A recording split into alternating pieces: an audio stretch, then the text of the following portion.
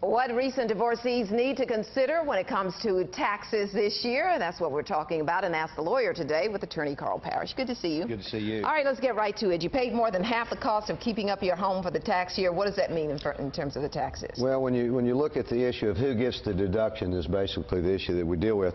And what happens is if you've if you've had the home to yourself for more than one half the year, plus it's your primary residence and or you have a child that's there also for more than one half the year, then that spouse, uh, if the divorce is not yet granted, but that spouse is able to deduct uh, all the tax benefits for uh, the everything that relates to the house.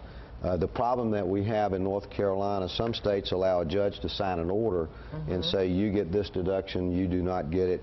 North Carolina, we do not do that. The only thing that they recognize as the final nature of a divorce is the divorce decree. So that gap between the time you separate and the actual decree creates some problems in the state. All right, how does the child deduction play into that? If the child's been in the house for the same, half a year. Same concept. If you can show that you've had the child for more than one half, that uh, therein that leads to a lot of arguments and uh, disputes over how much time people have, but you have to have it under the tax code for more than have the child for more than one half the year. And the spouse?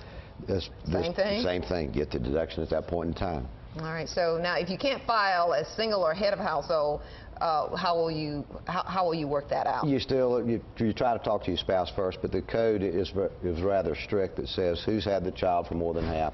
If it's, a, if it's equal, they both should get that. The problem is that somebody always files real quick. Mm -hmm. Then the IRS goes ahead and disperses the checks, and then you have to file a complaint and try to get it and adjusted. find it out. All right, so let's get to real estate or personal property. How does that you handle that? That's a, the issue of uh, equitable distribution of your property is becoming bigger, uh, the biggest issue that we deal with. A lot of times it goes first. Uh, thank goodness the IRS passed 1041 code, which says that if you and I have amassed a million dollars in assets by way of property, bonds, et cetera, et cetera, uh, the dis distribution of that between spouses is tax-free. So there's no taxable uh, consequences at all when you divide up your property. It's a transfer that uh, lasts. Our, uh, we have it, uh, and the code says that you're supposed to have that completed within one year of the date of divorce. Some of the marital estates are so large it's impossible to do that, so the IRS usually helps people out with that. All right, play nice. Thank you, Carl. Thank we you. appreciate it.